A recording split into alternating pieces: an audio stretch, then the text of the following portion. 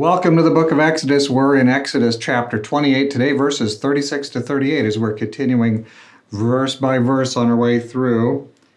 You shall also make a plate of pure gold and shall engrave on it like the engravings of a seal, holy to the Lord. You shall fasten it on a blue cord, and it shall be on the turban. It shall be at the front of the turban. It shall be on Aaron's forehead, and Aaron shall take away the iniquity of the holy things which the sons of Israel consecrate with regard to all their holy gifts, and it shall always be on his forehead, that they may be accepted before the Lord. Okay, we're going through the, all the uh, instructions Moses has given about making the wilderness tabernacle, wilderness sanctuary, and all the different pieces of furniture in it, so how it's going to be all set up, the priesthood. And we've come into these uh, more recent chapters where we're dealing with all the, uh, God is laying out the symbolism, the garments, which of course are laced with all kinds of representations. And we come now to the headpiece, and there is a hat, so to speak, that the high priest wears. And on the front of that hat, there is a plate of solid gold. We're just reading about that right here at verse 36. And on that plate, it says, Holy to the Lord, Kadosh Adonai. And so we have this extraordinary uh, thing that at the forehead, just as where also in the Bible we read about the mark of the beast and the seal of God in Revelation 13 and in Ezekiel 9 and different places in the Passover. In fact, there's symbolism there uh, for marking the blood. The blood goes over the doorpost and the death angel passes by and people are preserved from dying. There's all these kind of symbolisms uh, all represented through there about these two different things, which isn't our topic, but the mark of the beast versus the seal of God. The mark of the beast is kind of a a final uh, coercion the devil puts on people, and the seal of God is a sealing into uh, God's whole order and how God does things. And so uh, there's a, a, a, God's Ten Commandment law is, is lived out in the life. Now, here we have the high priest in the sanctuary, and he is wearing on his turban a, a notice that says, you know, holiness to the Lord, holy to the Lord.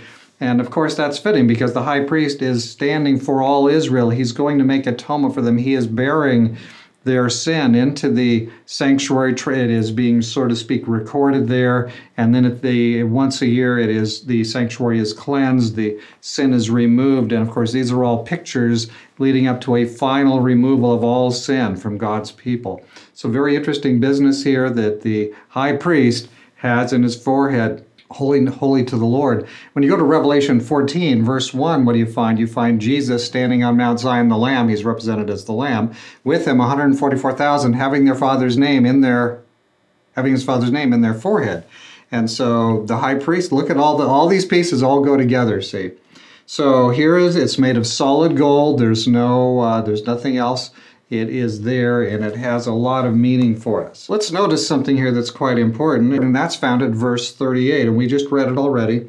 But it says, This will be on Aaron's forehead, he's the high priest, and shall, it shall take away, Aaron shall take away the iniquity of the holy things from the sons of Israel, which the sons of Israel consecrate, with regard to all their holy gifts, and it shall always be on his forehead. How often? Always be on his forehead, that they may be accepted before the Lord.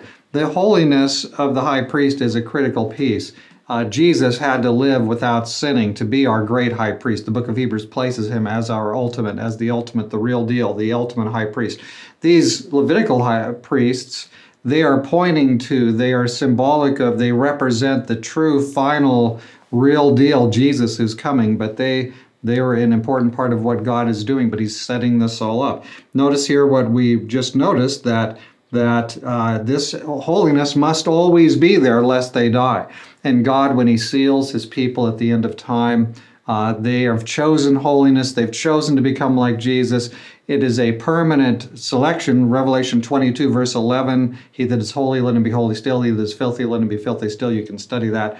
But there is a, a period of time where uh, everything is finished, everything is locked in, people's choices are, are confirmed and we want to be right, like uh, have the Father's name uh, character written in our foreheads.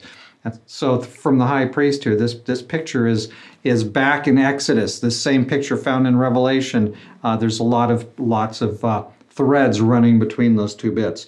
So yes, we must have a high priest who is sinless, who uh, is uh, victorious over sin. We must have a high priest who cleanses us from all sin, blots out our sin completely.